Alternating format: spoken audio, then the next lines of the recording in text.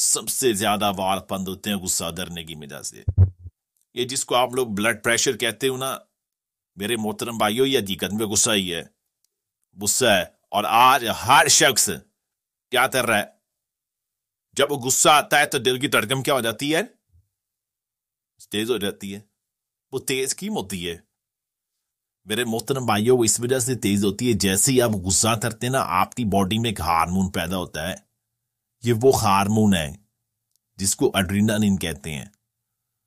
ये जैसे ही आपके खून में ज़्यादा होता है ना तो ये हर चीज़ को खोल देता है। ये खून की नालियों को खोल देता है।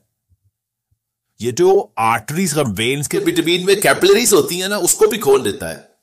और जैसे ये हार्मोन आपकी बॉडी में आता है, सारे का सारा खून जिसम की तरफ़ आ जाता है। और जब वो जिसम की तरफ़ आएगा तो आपका चेहरा शुरू हो जाएगा, आँखें शुरू हो जाएँगी।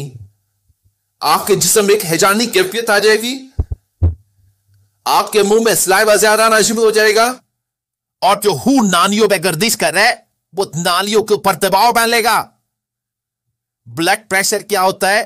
खून का खून की नालियों पे दबाव। और वो जब बढ़ जाता है, जिसको हाई ब्लड प्रेशर कहते हैं, जब ये इस कैफियत से वापिस आएगा और एक बात बताता हूँ साइंस कहती है, ये जो गुस्से की कैफियत है ना, ये मैक्सिमम बारह मिनट रहती है। और अगर हम सिर्फ़ बारह मिनट के लिए सबर कर ले, ये जो दिल की नालियाँ बंद हुई है ना, इसकी सबसे बड़ी वजह गुस्सा करना है। और गुस्सा क्यों होता है? हकीम लुकमान ने एक बात कही, दुनिया में सबसे अहमक है वो इंसान जो दूसरों की गलती की सजा पर्याप्त देता है। और बताओ गुस्सा क्यों आता है। ये दिल के प्रॉब्लम ये जिगर के प्रॉब्लम ये गुर्दों के प्रॉब्लम उसकी एक बहुत बड़ी वजह, गुस्सा है।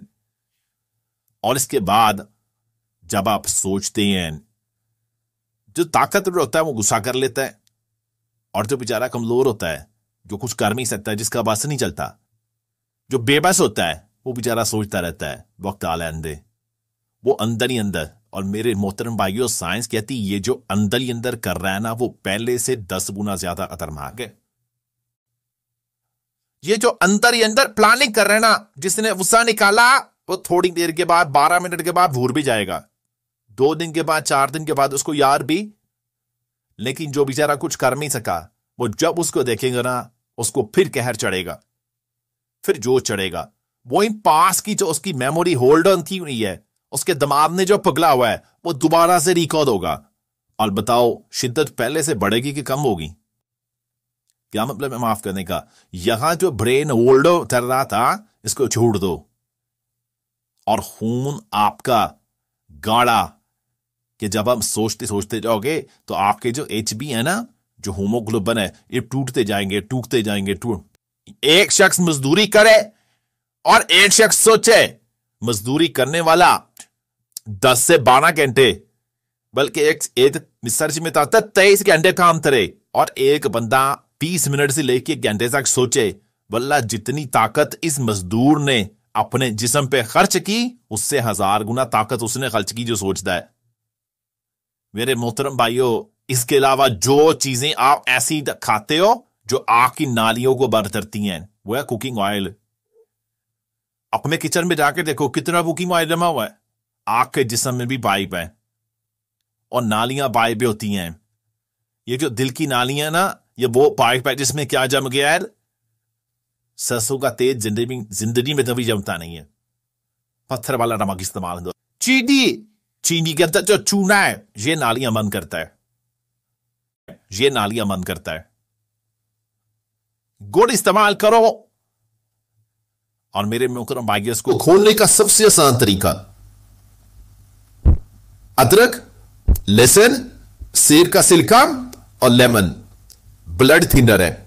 फूल को थिन करने वाले पतला करने वाले। एक एक कम सारे लो। इसको मिट्टी की छान लो। मिट्टी की हांडी में हल्की आँच पे पकाते जाओ पकाते जाओ पकाते जाओ, ताकि अदरक की स्मेल खत्म हो जाए। लेमन की खटास खत्म हो जाए। अदरक की स्मेल खत्म हो जाए। ये सारी चीज़ें जक जान, तीन प्यालियाँ रह जाए इसको ठंडा दो। शुगर में है तो इसमें तीन चम्मच शैन इसमें तीन प्यालियाँ शैन मिलाओ।